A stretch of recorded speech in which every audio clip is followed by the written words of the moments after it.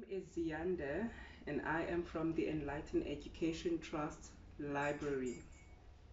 And I'm here to tell you a story about the dove and the ant.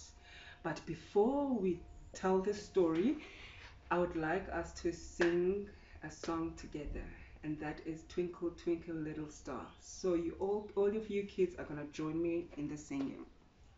Twinkle twinkle little star how I wonder what you are up above the world so high, like a diamond in the sky.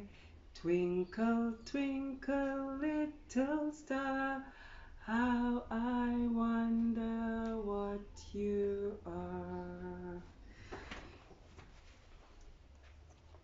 Once upon a time, there was an ant a very, very busy ant. Every day the ant would go out and search for food for its family. And it was as it was doing that, it would sing, Oh, busy ant, oh, yes, I am.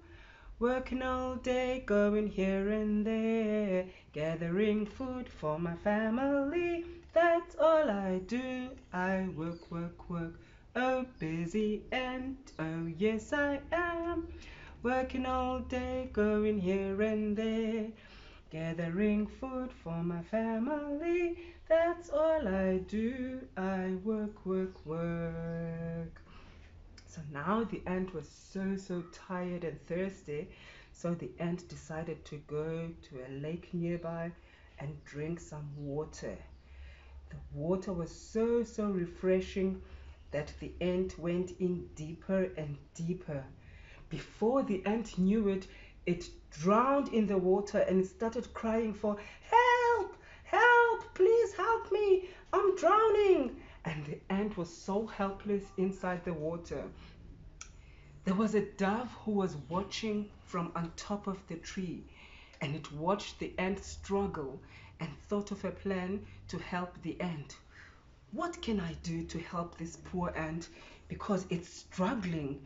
And so the dove said to itself, I know what I'm going to do. I'm going to pluck a leaf from the tree and then I'm going to drop it for the ant to go on top of. And so the ant went on top of the leaf and looked at the dove and said, Thank you, dove. Thank you so much. You have helped me. You have saved my life. And so the ant made its way out of the water and started with the work again. Oh, busy ant, oh, yes, I am.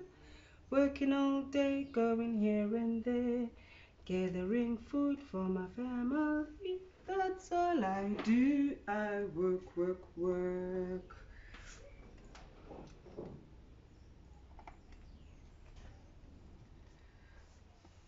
Now, one day, the ant was busy looking for food as usual.